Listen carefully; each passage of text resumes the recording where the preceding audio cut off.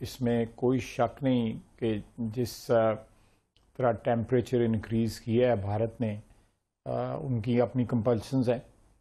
तो आपका ख्याल यह है कि इंडिया ये सी पैक को टारगेट कर रहा है? इंडिया सी पैक को भी टारगेट कर रहा है। मतलब India has better relation with OIC than Pakistan yes narrative है कि मोदी सरकार मुसलमानों के खिलाफ है ये है। तो उसमें वो भाई फिर फिर मुस्लिम मुस्लिम कंट्री से इतने अच्छे ताल्लुक रोल तो डॉक्टर जयशंकर के पास है लेकिन somehow Amit Shah N S Doval और prime minister Modi I think security issues वो लोग हैंडल करते हैं। मैं बल्कि मैं बल्कि खुश हूँ भारत की तरक्की से बहुत खुश हूँ। 8.4 परसेंट मैं बहुत खुश हूँ कि today somebody is taking the revenge जो सदियों से लोग लेते रहे हैं भारत से। भारत की हिस्ट्री पढ़ के देखें तो मोस्ट सिविलाइज नेशन तो अगर आप अपनी जो एनर्जीज हैं उसके ऊपर सर्व करते तो फिर जो है आज ये उन, किसी को कहने की ज़रूरत ही ना पड़ती। आज भारत का वज़ीर आज़म नरेंद्र मोदी ये ना कह रहा होता कि देखो हाल क्या हुआ इनका अंदाज़ा करो। अरे दोस्तों सिटीजन अमेंडमेंट एक्ट को लागू कर दिया गया। पता नहीं क्यों इसको इतना हवा बनाया जा रहा है। इस वक्त छोटी सी भी कोई चीज़ होगी ना भारत के हवाले से उसको बहुत बड़ा इश्यू बनाया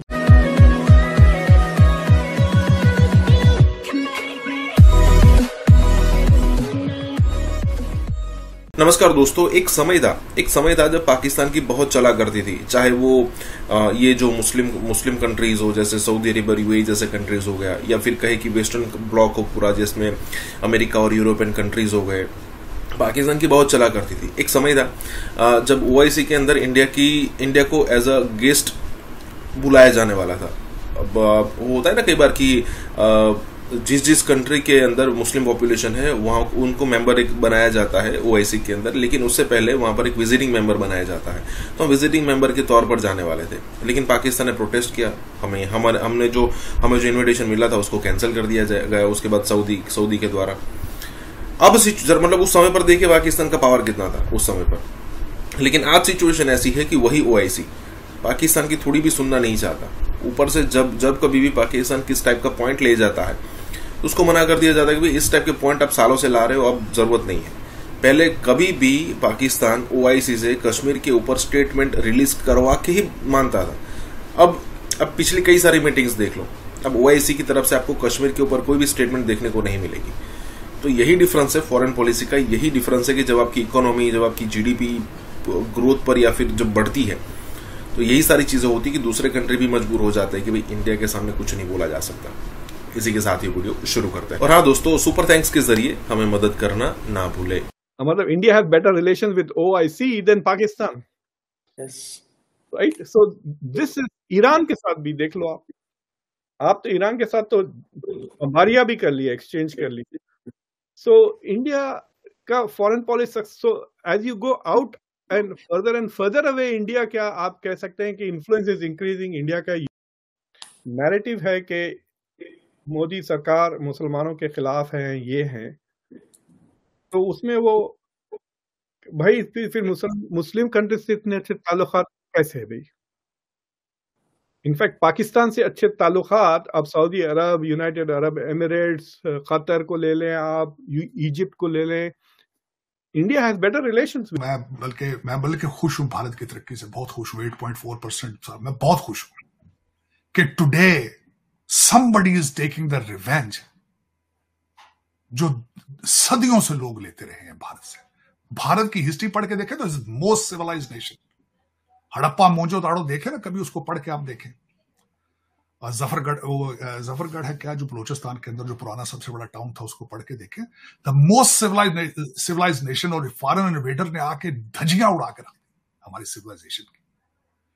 ब्रिटिश लूट के ले गए सारा कुछ यहाँ से। मुगलों ने आके जो ज्यादती की है। मैं आपको, आपके हवाले से आ रहा भाई, आज मैं आपके प्रोग्राम में एक और चीज़ भी आपके देखने वालों को, मैं एहतजाजन आज तक ताजमहल में नहीं गया। मैं जब भी भारत गया हूँ, मेरे चार दौरों में से तीन दौरे, मैं डेलीगेशन का हिस्सा होता था, अमेरिकन डेलीगेशन का। उन डेलीगेशन में, उन अमेरिकन को घुमाने के लिए ताजमहल लेके लेके जाया जाता था। मैं एहतजाजन नहीं जाता था आज तक नहीं गया ताजमहल। क्यों नहीं गया? किसी ने गुर्बत का मज़ाक उड़ाया था ताजमहल उसके ऊपर इतना पैसा लगाया था, इतना पैसा लगाया था आरफ भाई, कि Bharat became the British colony इतना पैसा उस बिल्डिंग के ऊपर लगाया गया। और दूसरा, क्या मज़ाक था कि अपनी बीवी के के प्यार में आपने ताजमहल खड़ा कर दिया, साथ ही उसकी बहन से शादी कर दिया। इसमें कोई शक नहीं कि जिस तरह टेम्परेचर इंक्रीज किया है, भारत ने उनकी अपनी कंपल्सन्स है। एक लेवल के ऊपर आके पिछली कई दहाइयों से रुके हुए थे और दस्तनगर थे कशकोल उठा के सारी दुनिया में फिरते रहते हैं। तो ये दोनों मसले हमारे लिए बहुत और इन इन दोनों मसलों के लिए एक तो अमन की कोशिश है दहशत गर्दी को खात्मा जो है वो अमन की तरफ़ हमें लेके जाता है। तो आपका ख्याल यह कि इंडिया ये सी पैक को टारगेट कर रहा है? इंडिया सी पैक को भी टारगेट कर रहा है मलिक साहब और साथ वो ये भी नहीं चाहता कि यहाँ पे दहशत गर्दी जो है पाकिस्तान में उसका मुकम्मल खा तो अगर आप अपनी जो एनर्जीज हैं उसके ऊपर सर्व करते तो फिर जो है आज ये उन, किसी को कहने की ज़रूरत ही ना पड़ती। आज भारत का वज़ीर आज़म नरेंद्र मोदी ये ना कह रहा होता कि देखो हाल क्या हुआ इनका, अंदाज़ा करो, ये नतीजा निकलता है आतंकवाद का या दहशतगर्दी का, या दहशतगर्द पालने का। बल्कि वो ये, उस उस तरफ़ से ये कहा जाता कि हमने तरक्की की है तो हमारे हमसाया मुल्क ने भी देखो, तरक्की कर ही ली, वो भी, लेकिन ऐसा नहीं किया गया। अच्छा अब ये बात सच कैसे बैठती है? आप मेरी भी ना मानिए और आप किसी और की ना मानिए। लेकिन हालात बताते हैं कि ये सच है। हालात ये हैं कि वो दुनिया की थर्ड लार्जेस्ट इकोनॉमी बनने जा रहे हैं। क्योंकि उन्होंने अपनी सारी तोानाइयाँ तमाम एनर्जीज जो हैं, वो रखी हैं किसके ऊपर? तरक्की के ऊपर। उनकी तो प्रोग्रेस तो देखें जनाब, कहाँ पर वो? किस जगह पर पहुँच गए? पूरी दुनिया उनको कह रही है कि आप ग्लोबल पीस मेकर का किरदार अदा करें और जंगे खत्म करवाएँ। और सारी दुनिया से उनकी तजारत है और कैसे बड़े बड़े एग्रीमेंट्स हो रहे हैं कि जो उनके दुश्मन है वो भी जो है वो चुप उंगलियाँ जो है वो मुँह पे रख के और यूँ अरे दोस्तों सिटीजन अमेंडमेंट एक्ट को लागू कर दिया गया। पता नहीं क्यों इसको इतना हवा बनाया जा रहा है। इस वक्त छोटी सी भी कोई चीज़ होगी ना, भारत के हवाले से उसको बहुत बड़ा इश्यू बनाया जाएगा। वो भाई साहब सिटीजन अमेंडमेंट एक्ट 2019 में पास हो चुका था पार्लियामेंट से। ये तो चार साल डिले पाँच साल डिले हो गया। इम्प्लीमेंट करने में। है क्या जिसको इतना बड़ा हवा बना रहे हैं? दिसंबर 2014 से पहले जो भारत में पाकिस्तान, अफ़गानिस्तान और बांग्लादेश से हिंदू, सिख वगैरह आए हैं, जो नॉन मुस्लिम प्रोजिक्यूटेड उनकी नेशनलिटी को प्रोसेस को तेज किया जाएगा।